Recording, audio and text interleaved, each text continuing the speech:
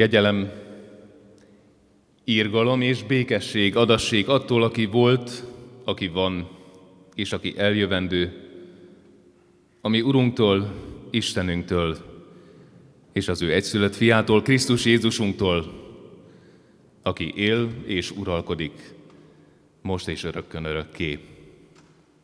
Kegyelem néktek és békesség Istentől, ami atyánktól, és az ő egyszülött fiától, Krisztus Jézustól. Amen. Isten tiszteletünk kezdetén helyünket elfoglalva énekeljünk. Énekes könyvünk 586. énekét énekeljük el mind a négy versével. 586. énekünk első verse így kezdődik, bár szétszakadva él az egyház, Jézusban mégis egy lehet. thank you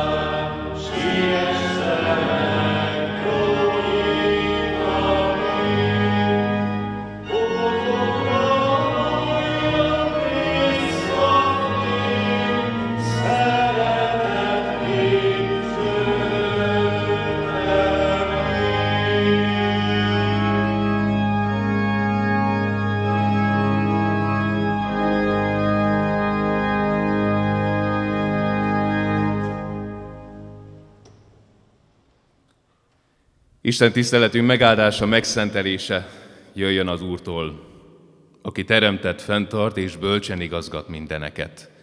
Amen. Hajtsunk fejet és imádkozzunk.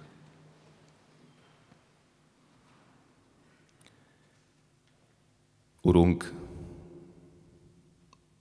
azért jöttünk most ide, mert emlékezünk. Emlékezünk arra, hogy nem csak a te néped, a kiválasztott nép él szétszakítottságban, hanem magyar nemzetünk is. Nekünk is át kell élnünk azt a szomorúságot, hogy bár testvérek vagyunk, mégis határok választanak el bennünket a másik testvértől. de hisszük azt,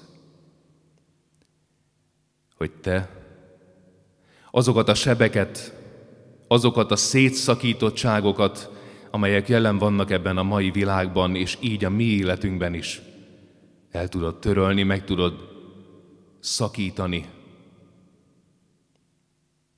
és újra egyé tudsz bennünket tenni. Add most nekünk, hogy lelkileg találjunk egymásra. Együtt imádkozva, azzal a sok testvérrel, akik ugyanúgy emlékeznek ma is, mint ahogyan mi. Urunk, légy velünk, és add nekünk a Te ígédet, azt az igét, amely megelevenít, amely erőt ad, amely tovább visz. Így figyelünk most rád, így légy most velünk. Fiadért, Jézusért, ami Urunkért és megváltónkért kérünk. Hallgass meg bennünket. Amen. Drága fiatal testvérek, az igét a mai alkalomra Jeremiás könyvéből hoztam, Jeremiás könyvének 29. fejezetéből, annak is a 11. és 12., 13. verseiből olvasom. Az ige pedig így hangzik a Jeremiás könyvének 29. verséből, 29. fejezetéből, mert csak én tudom, hogy mi a tervem veletek, így szól az Úr, jólétet és nem romlást tervezek, és reményteljes jövő az, amelyet nektek szánok. Ha segítségül hívtok, és álhatatosan imádkoztok hozzám, akkor meghallgatlak benneteket. Ha kerestek majd, megtaláltok engem, ha teljes szívből kutattok utánam. Amen.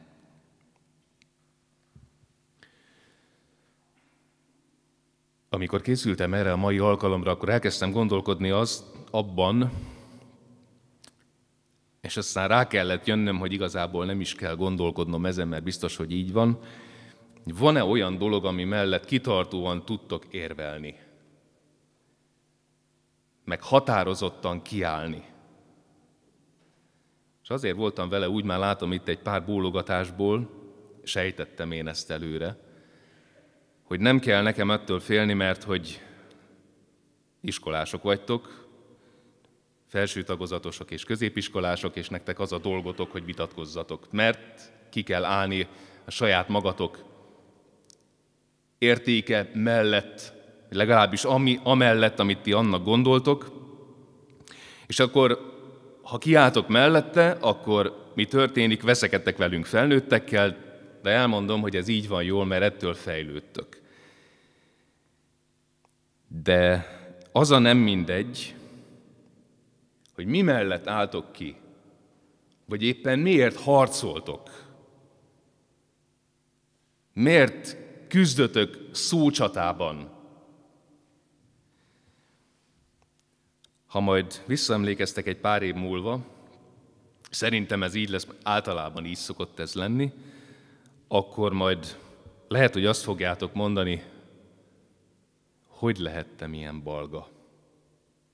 Mert hogy ahogy haladsz előre az életedben, úgy változik az értékrended, úgy változol te magad, a környezeted is egészen más lesz.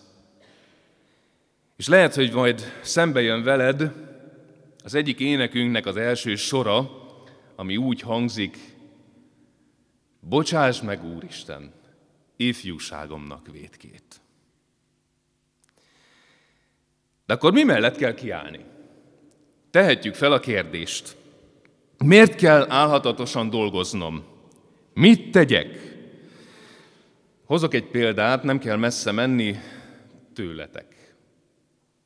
Beszélgettem nem olyan régen az egyik őtökkel, nem mondom meg, hogy kivel, és előjött egy nagy probléma.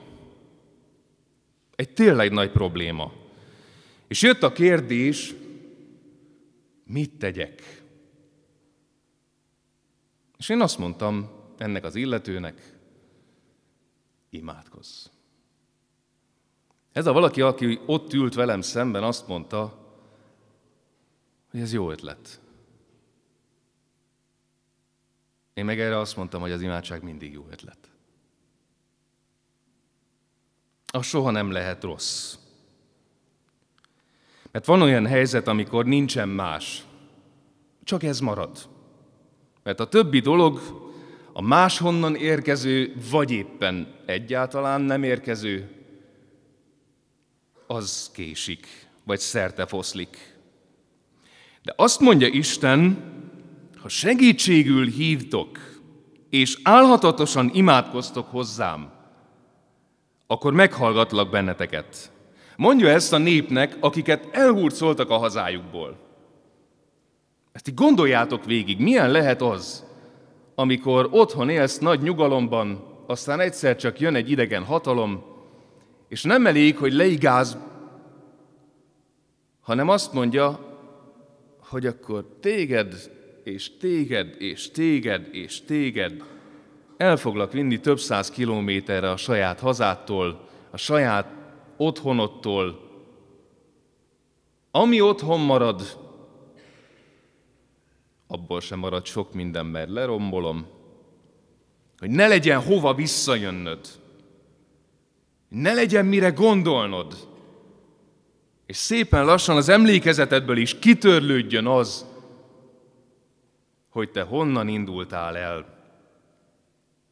Ott volt a föld, ott volt a biztonság, ott volt az Isten az életükben, csak aztán elhagyták az Istent,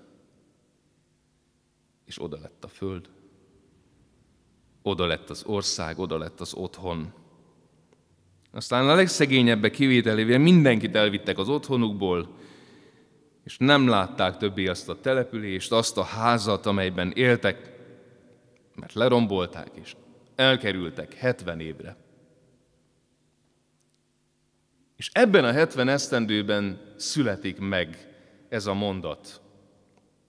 Az Isten üzenete Jeremiás szájából és tollából, és csak a legszerencsésebbek voltak azok, akiket talán gyermekként vittek el, és nagyon öreg emberként kerülhettek haza, hogy megláthatták azt a helyet, ahonnan ők elmentek. De mit árult a szemük elé?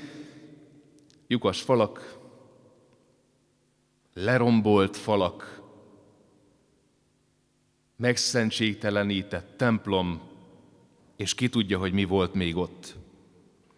De a többiek, azok nem voltak ennyire szerencsések, viszont egy reménysugár mégis ott van bennük, és ez a reménysugár pedig az az ige, amit én felolvastam, és ennek van egy előzménye, meg utána majd ez folytatódik, nem olvastam föl az egészet, de érdemes Jeremiás könyve 29. fejezetét elolvasni, ez a reménysugár viszont ott ragyogott, ott sugárzott felettük újra és újra, mert Isten azt mondja nekik, hogy én tudom, én tudom, hogy mi a tervem veletek.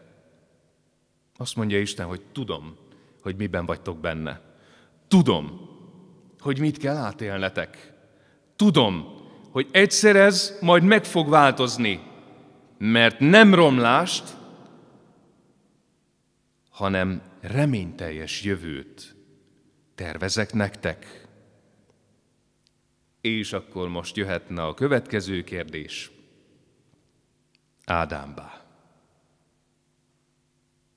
De hát mi nem vagyunk fogságban.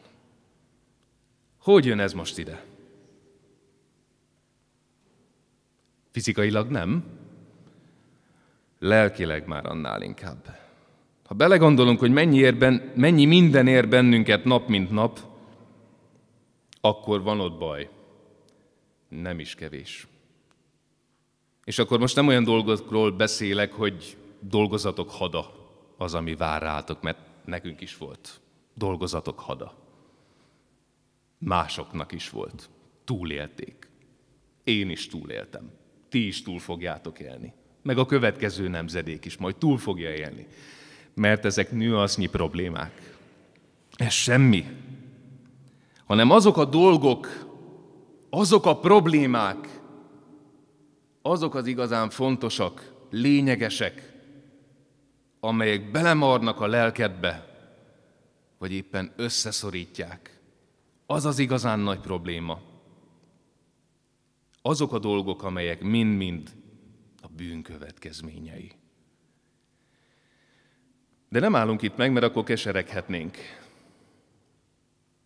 És nem kesergünk, mert az Isten valami egészen mást ad ma elénk.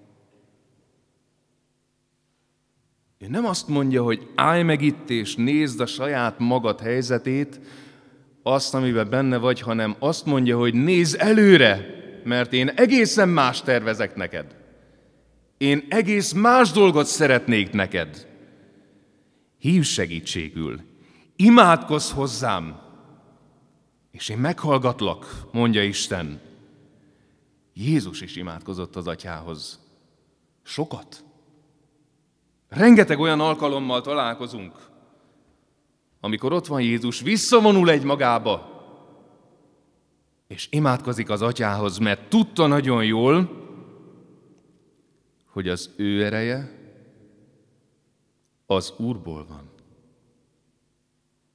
A mi erőnk is az Úrból van.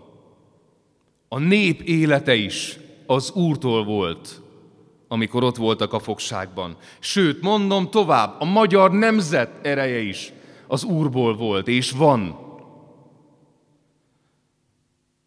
Akkor is az Úrból volt, amikor jött az a hír, amit senki nem akart hallani. Aláírták. Meghúzták a vonalakat. Hogy a rövidtávú terve Istennek ezzel mi volt, azt nem tudjuk. Vagy éppen miért kaptuk? Nem tudjuk. De azt igen, hogy Istennek a hosszú távú terve velünk, keresztjén emberekkel, magyar református keresztjén emberekkel, micsoda. Azt mondja jólétet és nem romlást tervezek, és reményteljes jövő az, amelyet nektek szánok. Én hiszem azt, hiszem és vallom, és erre hívlak benneteket is, hogy ebben bízzatok, hogy az Isten örök tervében a Krisztus által adatott örök életben abban mi is szereplünk. Imádkozzatok, imádkozzunk ezért együtt. Mert ha kerestek, megtaláltok engem, ha teljes szívből kutattok utánam. Kutassuk együtt az Istennek terveit, és bízzünk az ő igazságos ítéletében. Így legyen. Amen. Most hajtsunk fejet, és helyünkön maradva mondjuk el azt az imádságot, amelyre maga, ami Krisztusunk tanított bennünket. Ti azért így imádkozzatok. Mi, atyánk, aki a mennyekben vagy, szenteltessék meg a te neved, jöjjön el a te országod, legyen meg a te akaratod, amint a mennyben, úgy a földön is. Minden napi kenyerünket add meg nekünk ma, és bocsáss meg védkeinket, miképpen mi is megbocsátunk az ellenünk védkezőknek, és ne vigy minket kísértésbe, de szabadíts meg a gonosztól, mert tiéd az ország, a hatalom és a dicsőség mindörökké. Amen. Most pedig hallgassuk nagy-nagy szeretettel azokat a diákokat, akik készültek erre a mai alkalomra. Fogadjuk szeretettel a 10. A és 11. B osztályos tanulóknak a műsorát. Köszönöm már a felkészítést előre Gyarmati Ágnes tanárnőnek, és fogadjuk szeretettel az énekkarnak a szolgálatát. Itt pedig Marci Ernő kántorkar nagy munkáját köszönöm.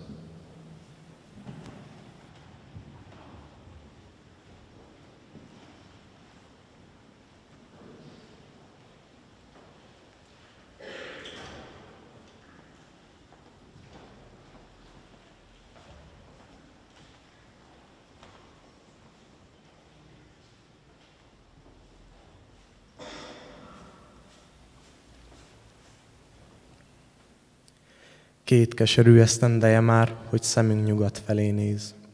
Láttuk, hogyan hanyatott le ottan a nap. Reménykedő, bízó, sóvárgó és fájó szemünk nézte, hogy könnyünk csordult ki attól. Mert a nap csak haladt lefelé, hanyatlott egyre, eleinte lassan, aztán gyorsabban. Végül lebukott, és az égen csak a vérveres fellegek maradtak. Most már megdörzsölhetjük a szemünket, Egyenlőre nincsen tovább. Ez a nap lebukott, ennek vége.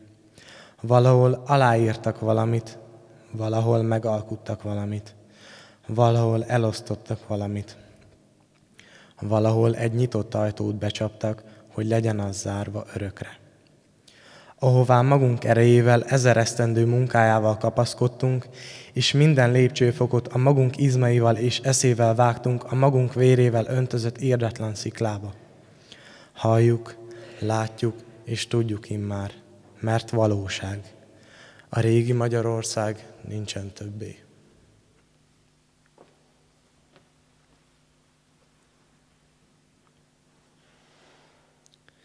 Téli szél a targaljakat fújja, mint az Isten égre tartott újja, mint megcsúfolt, kikacagott álom, állunk egyedül a nagyvilágon. Elvették, és most véle nagyra vannak, törött, véres kardját a magyarnak. De még minden nép a sírját ássa, van szava, hogy világá kiáltsa. Csak mi, csak mi ne verjük kebelünk, csak mi, csak mi ne emeljük fel fejünk. Tiporhatják szűz, tiszta igazunk, csak mi, csak mi ne hagyjuk el magunk. De hirdessük gúzsba kötött kézzel, sebes ajkal, lázadó vérrel, idézve menj, pokol hatalmait, hogy béke nincs, hogy béke nincsen itt. Kezünk, bár nem pihen a kardvason, a szíveinkben nem lesz nyugalom. Jöhetnek jövő századok, s megint csak felszakadnak régi sebeink. E sebek és a fájdalom örök. Ettől vonaglik minden magyar rög, ettől vérez, ki majd nyomunkba hág, ettől nem gyógyulnak az unok, unokák. Tátra erdők, ettől zúgnak, búgnak, ettől reszket lelke minden zúgnak. Puha szívek, kővé ettől válnak, kemény kövek, élő szívként fájnak. Amíg élünk, ettől fájunk, égünk. Sírban ettől nem lesz pihenésünk. Ettől szorul a kezünk ökölbe, ettől sír a gyermek anya ölbe. Fenyőmadár behavazott fákon, száraz haraszt téli pusztaságon. A folyók, a fák, a füvek szelleme, minden süvít, mi nem nyugszunk bele. Most Lomnic ormán rakjunk egy tüzet, Verszáig lobogjon az üzenet, hogy megroppant bár karunk ereje, nem nyugszunk bele, nem nyugszunk bele.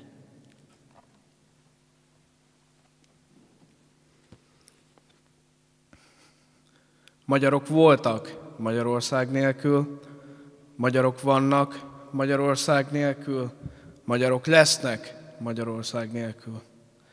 Két évtizedes idegen keretben mi megláttuk az örök lényeget. Országokat lehet szétdarabolni, nem lehet legyilkolni lelkeket.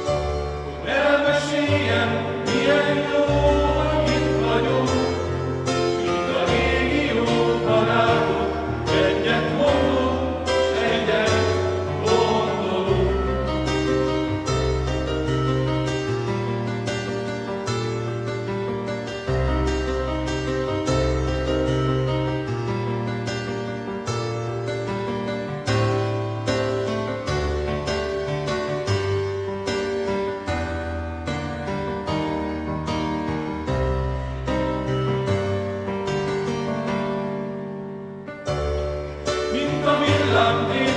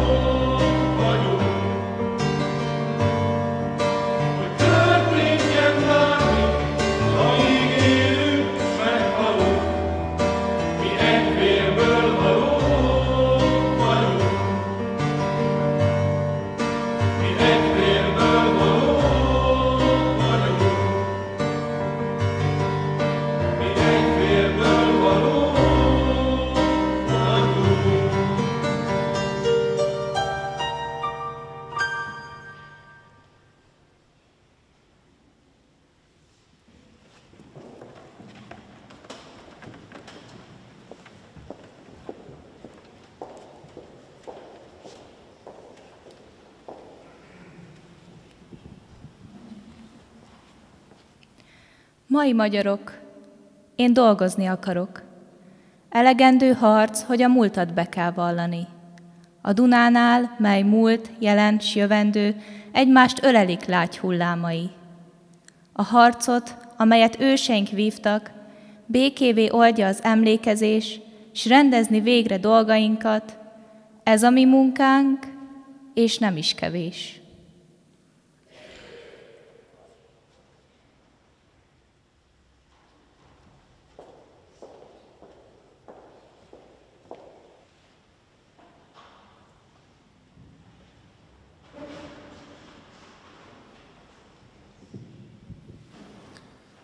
Hálás szívvel köszönöm meg a fiataloknak és a még fiatalabbaknak az emlékezésnek a szavait, az énekét.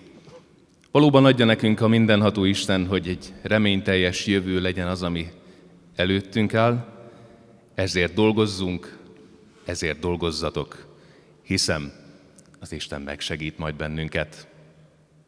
Áldásvétel előtt szeretném hirdetni, hogy miután itt az Isten tiszteletnek vége van, az udvarra fogunk majd átvonulni a Trianon kereszthez, ahova nagy szeretettel várunk mindenkit, akár az általános iskola felső tagozatát is. Jöjjenek át velünk, hogy ott egy koszorúzás alkalmával lehessünk még együtt, megemlékezve főhajtással erre a szomorú napra. és áldásvétel előtt most még nemzeti imádságunkat, a himnuszt énekeljük el együtt.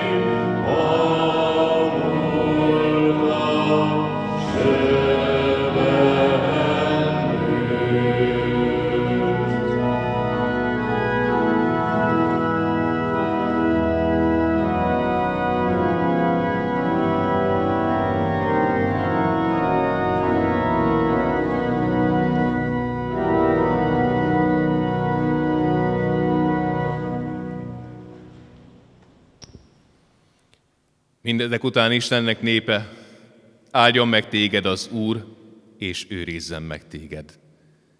Ragyogtassa rád orcáját az Úr, és könyörüljön rajtad.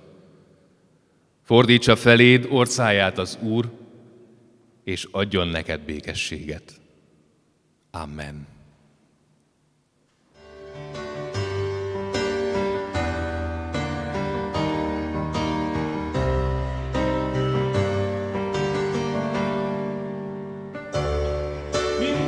love